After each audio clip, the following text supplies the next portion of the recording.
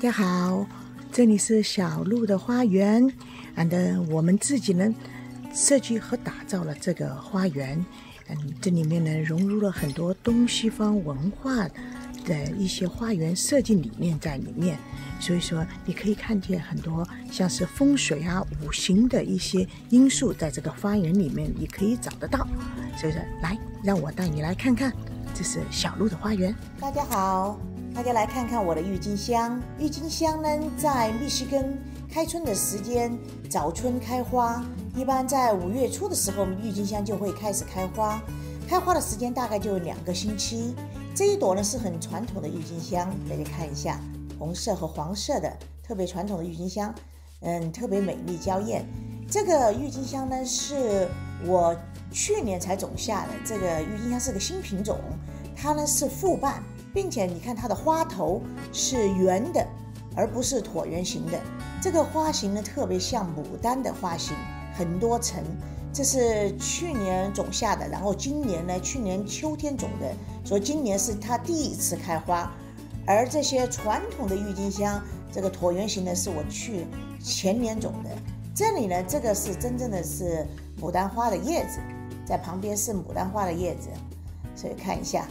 这个是，嗯，这是新的品种，这个郁金香，这个新品种，它的，嗯，花期还，嗯，比传统的要长一点点。这个呢是我的这个，呃，牡丹花叶子，我摘了第三年了，终于看到花苞了。这个是，嗯，还是我这个是另外一个郁金香，还有这里可以看到我有郁金香已经受这个突然降温的。这个受到了破坏，这个花苞已经彻底的完了，根本不可能开花了，所以说呢，只能放弃这一块了。嗯，这个因为我们这几天有几天的时间突然降温到零下几度，出现了这个霜打这些花，所以说很多花苞呢都枯萎了。这个是新的品种，去年栽的这个水仙花，你看它跟传统的有一点不一样。这个是水仙花，今年我水仙花有八个品种，特别多。这个新的品种看一下，这个是两年前摘的，这个是复色的两个颜色。你看这个黄色的特别好看，因为它的边边上有那个红色。这个是今年特别的颜色，这个是紫色的，特别喜欢它的颜色特别的。你看花瓣也很丰厚，并且的话特别颜色特别的浓，特别的好看。这个就是很有这个贵族风范的紫色。这个是今年才发现的，才有的。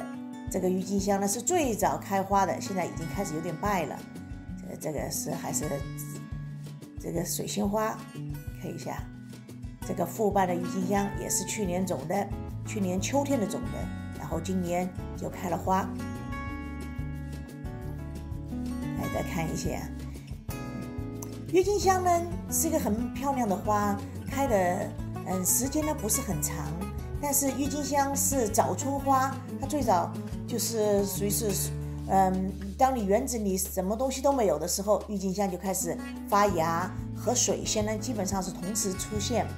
郁金香比较娇贵一点，因为呢，郁金香容易受这个野生鹿的袭击，因为野生鹿呢很喜欢郁金香，他认为他们好像对这郁金香，他们认为是。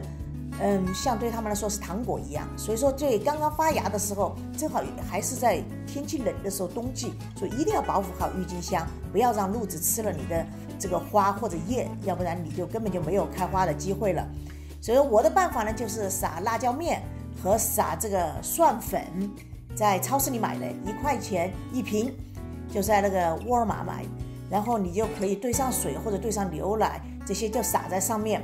呃鹿子人就不不会吃的，因为那个味道很很呛他，他不喜欢吃。